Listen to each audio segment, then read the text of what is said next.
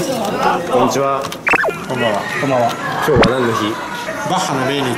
あそうなんだ、ね。巨人の亀井の誕生日です。ビバルディも命日ですよね。あそうなの？はい。そうしたの。今日は、でそれをええね。今日はなんと相沢先生の誕生日です。7月28日。ありがとうございます。そしてなにわにいるっていう。そう何はあら2位はですよ。初めてですか？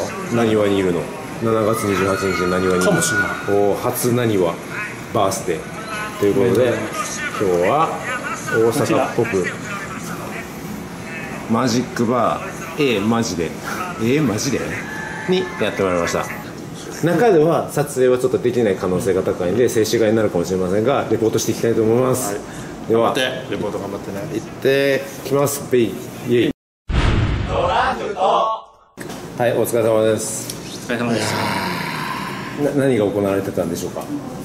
マジいやーすごかった。まずこれすごかったねあのなんだ、まあ、ランダムに要するに選んだカードが、にまあサインまでしたやつがですね日付も書いてね。まあ、その前これねあの今こうなってるけど、まあ、新品のまだ開いてないここに生茶。まあ、生茶のねちゃんとラベルもあったもの。もう本当に新品だったんだけども、まあこん。なカチッとしたね。こうバリバリバリって。そうそうわ本当に新品です。もう中に入ってましたよね。ここに移動しちゃった？出せないしこえ？いや出すのも大変だよ、うん。まあでも入れる方が出すよりは簡単だよなとは思う、思う。でも閉まってて新品だよ。閉まっててこれラベルもついてました。まあ、ラベルを剥がすそう動作をしてる時にね。だからほらこれ基本ってさえ何かこうさ注目を別のところにさせておくっていうのが基本じゃん？でもラベルの中にうっすら見えてたような気がするんですよもうすでに。ああそう、はい。あでも見えてた見えてた。確かに見えてた。あれなんか影が確かに見えてた、ほらあのなんか妖精みたいなの飛んでたじゃん、はい。あの時ってね僕ね口元を見てたんだよ僕は実は、あうん、どうです結構ねすごいね。口元はうん、うん、あでもねちょっと、うん、でもねでも口で何やってたのかは分かる。いやでもでもあれそうワイングラスに相田先生蓋をした中でティンカーベルは動いてました。よあなんかふ動動くやつね。浮いてるやつね、ディズニーランドで売ってるような、ねああれそういう時紐が。みたいななんか変なそうそうそう。紐じゃないのとは全然違いそうだったな。あこれはのみんなで破いた折り紙がまあこれはね。いつの間にかつながって鶴になってた。そうねでそれをほどいても普通で1枚の折り紙になっている紐は？紐もあ全部説明するのこれ。いやいやこれもあるやつだけ。でこれも切れたのはな長くなってたの。そ切れたのが元になりました。う。すごい。すごい。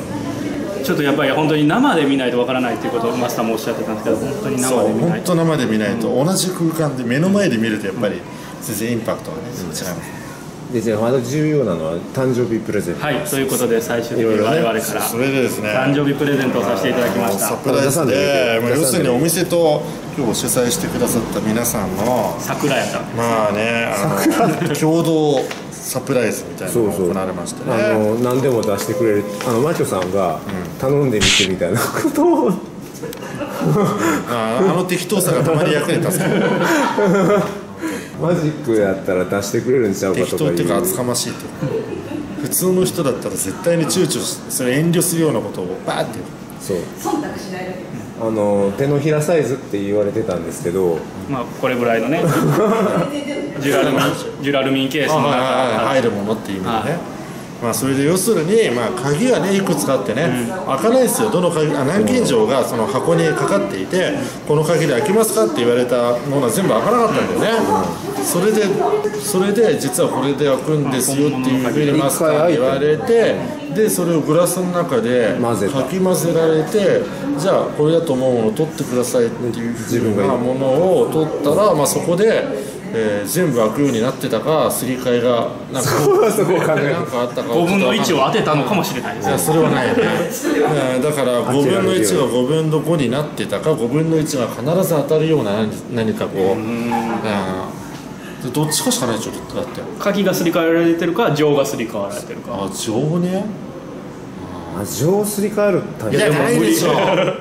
あそれはないでしょ。そんなりあのあそっちの方が大変でしょね上げてまたムーディーな音楽が流れてんだよね、うん、あの割とねあの手作業の操作によりね、そう。だって音楽止めてるからよく分かんなかった。まあ、とにかくそれでまあ結論的にはそれを開けたら、僕の今日誕生日なんですけども、ぱいだからさっき誕生日の話してたのかこう入る前に「今日は何の日ですか?」とかさっき。ああそれもあるかもしれない。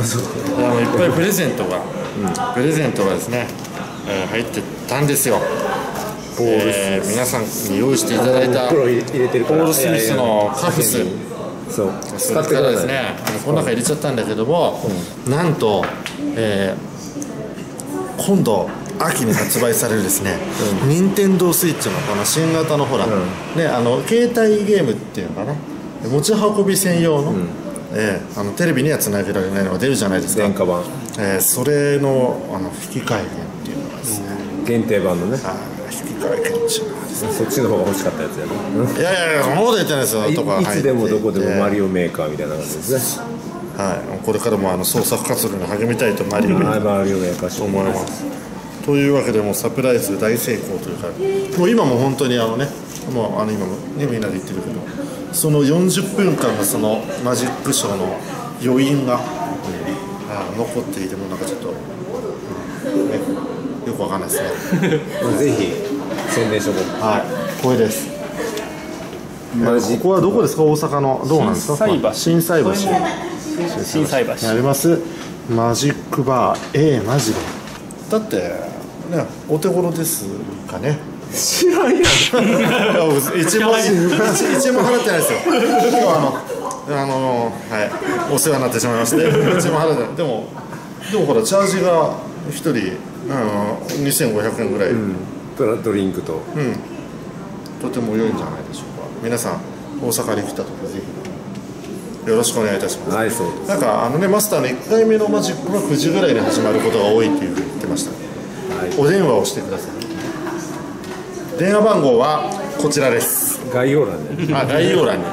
YouTuber っぽいな。誕生日。ということで相沢先生、えー、役年はい翻訳です。なにわの誕生日なにわで祝うの会、えー大成功でした。おめでとうございます、お疲れ様です。ご視聴ありがとうございました